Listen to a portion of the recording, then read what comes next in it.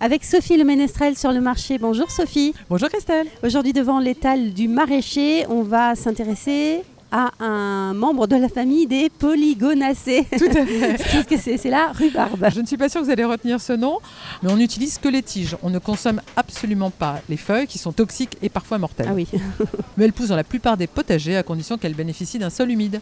Elle est récoltée d'avril à juillet et l'hiver, elle arrive tout droit des Pays-Bas. Est-ce qu'il y a plusieurs variétés de rhubarbe? Tout à fait. Le goût est sensiblement le même, c'est plutôt la couleur qui va varier. Vous avez les plus ou moins vertes comme la Victoria et les rougeâtres, telles la Canada Red ou la McDonald. Bonjour monsieur. Bonjour madame. Vous vendez de la rhubarbe là sur votre étal. Alors, je- Ça reste un légume de printemps qui s'accommode euh, beaucoup avec les fraises. Donc euh, quand on vend des fraises, les clientes nous réclament de la rhubarbe.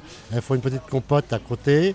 Le petit côté acidulé de la rhubarbe avec le mélange sucré de la fraise, et ben ça fait un dessert sympa. Comment choisit-on la rhubarbe sur l'étal Alors, si vous n'en avez pas dans votre jardin, vous allez sélectionner des tiges bien fermes, vertes, avec des bordures rosées et des extrémités fraîchement coupées, encore pleines de sève. Donc, ce sera une garantie de leur fraîcheur.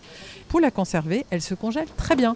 Alors, il suffit de la laver, de l'essuyer, de la couper en tronçons et vous glissez le tout dans un sac de congélation. Vous aurez de la rhubarbe toute l'année. Et en plus, la rhubarbe a pour avantage d'être peu calorique, Sophie. Tout à fait. Mais à cause de son amertume et de son acidité très prononcée, on la cuisine souvent avec beaucoup de sucre. Donc, il faut avoir la main légère si vous voulez ne pas faire monter la balance des calories. Et comment est-ce qu'on va la cuisiner, la rhubarbe? Elle se consomme principalement cuite, en confiture, en compote.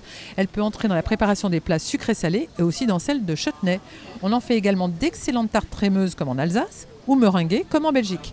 Crumble, crème, tous les desserts lui conviennent, seuls ou mélangés avec la pomme ou la fraise qui sont vraiment ses compagnes habituelles. Et pour rehausser son goût, alors vous allez pouvoir utiliser quelques épices comme la vanille, la cannelle, le gingembre. Et même avec des plats salés, on peut l'utiliser? Tout à fait. Ce n'est pas habituel, mais vous pouvez substituer la rhubarbe à l'oseille, sa cousine, avec des viandes blanches, de la volaille ou du veau, et même des poissons, dont le goût, comme avec l'oseille, sera sublimé. En résumé, osons la rhubarbe. Et retrouvons toutes les recettes dont vous nous avez parlé, Sophie, sur votre site terroirdechef.com. À la semaine prochaine. À la semaine prochaine, Christelle.